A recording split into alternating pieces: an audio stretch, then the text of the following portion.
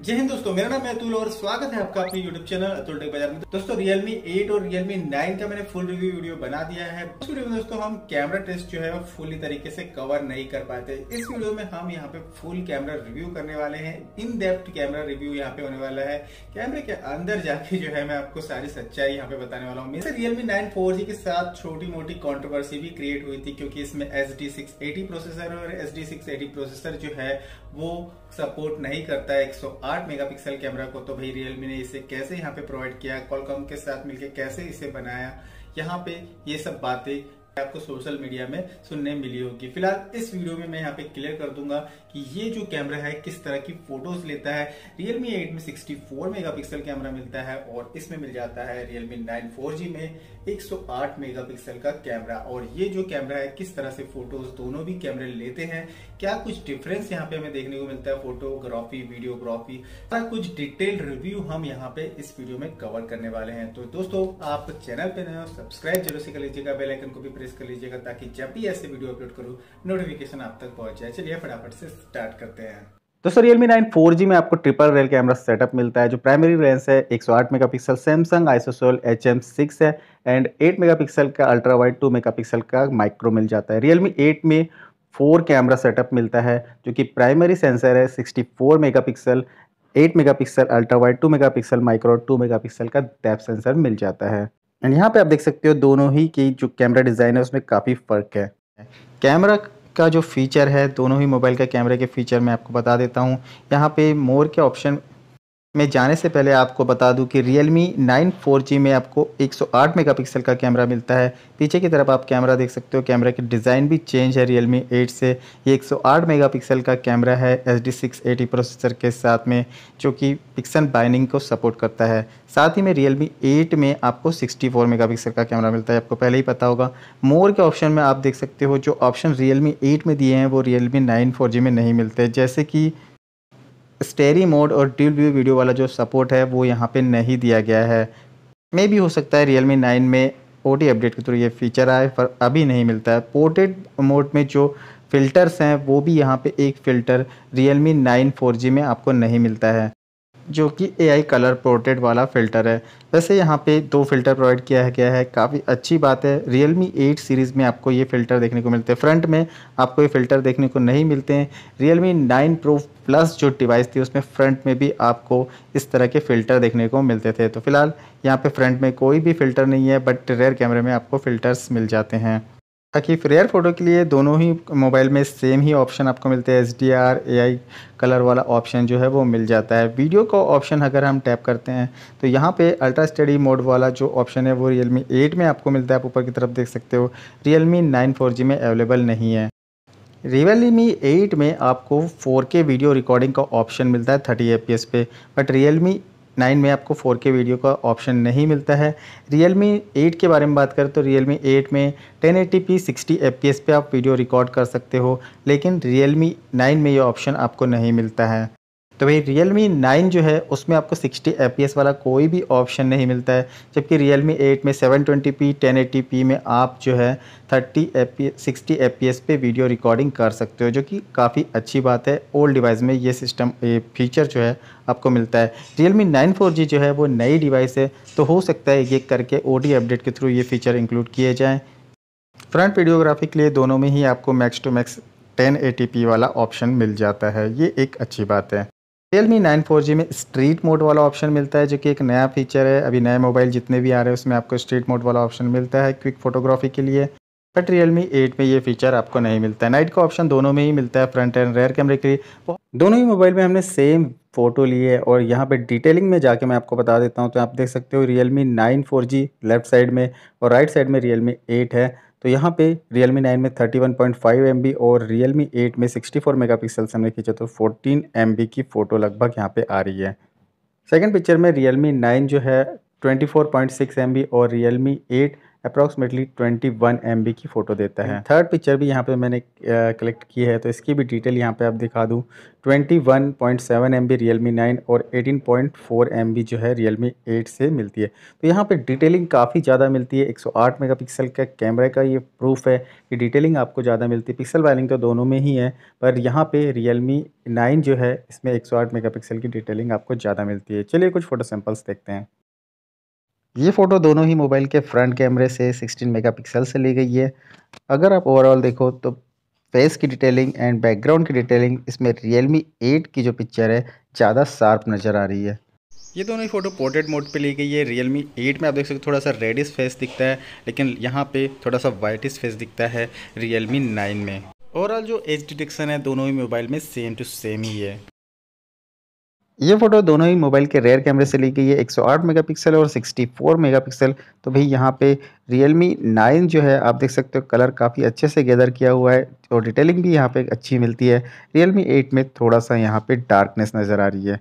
ये photo portrait mode पे ली गई है। एच डिटेक्शन काफ़ी अच्छा है बट यहाँ पे अगर Realme 8 को आप देखोगे तो कलर काफ़ी डार्क नज़र आ रहे हैं। बट Realme 9 4G डिवाइस में आपको जो बैकग्राउंड है थोड़ा सा लाइट नज़र आ रहा होगा।